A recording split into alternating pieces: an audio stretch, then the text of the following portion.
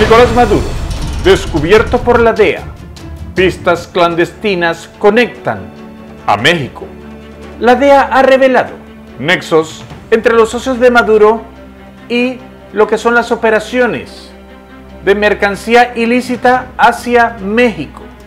Tres municipios mexicanos tienen aeropuertos que reciben aviones directamente desde Venezuela.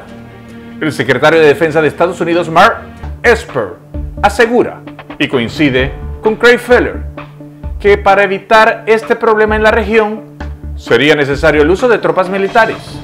Y es que estamos hablando de un poder muy grande que existe entre esta región y México.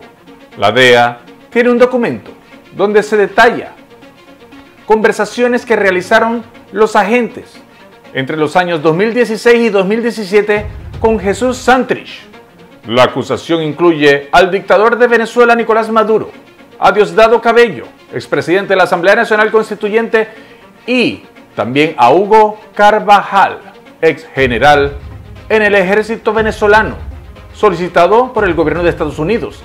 Ya Cliver Alcalá, exdirector de la Agencia de Inteligencia de Venezuela, ya está en el poder de la DEA. Un buque en España, procediente de Venezuela, llevaba mercancía ilícita que se le atribuye a Nicolás Maduro y sus socios. En México se dejó al descubierto la vinculación que hay con el régimen de Nicolás Maduro cuando incautaron una avioneta llena de mercancía. Esto da fe de que los nexos entre México y Venezuela están haciendo más difícil toda la operación del Comando Sur contra estos ilícitos. Estados Unidos está actuando, pero se ha vislumbrado que el panorama es aún más grande.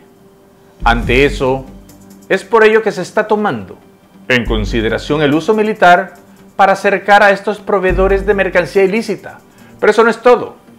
La DEA tiene más grabaciones en donde se involucra a militares con México y con el cartel de los soles.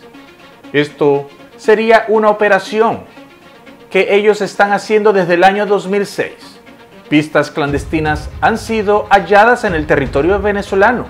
Se espera un acuerdo de la CIA con algunos socios de Maduro para que éste sea detenido. Estados Unidos realiza este tipo de negociación a través de la CIA cuando detectan que hay un poder en crecimiento que se activa hasta Europa y Estados Unidos. En el pasado se han hecho tratos con otros capos y siempre buscan detener al que más llame la atención y perjudique el negocio. Nicolás Maduro está perjudicando el negocio. Todo sería mejor para estos socios. La captura de Nicolás Maduro.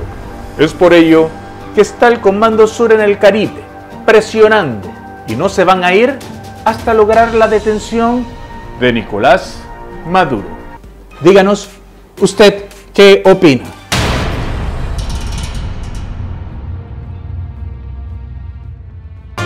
Déjanos tus comentarios y recuerda suscribirte a nuestro canal